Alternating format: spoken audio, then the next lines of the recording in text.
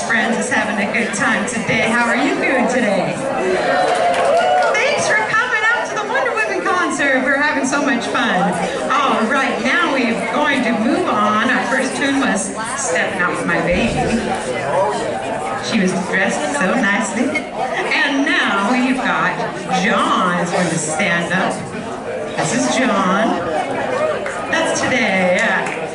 And we're going to play another really song um, arranged by Dave Barduhn called I've Got a Crush on You. So just be careful, it might melt your heart.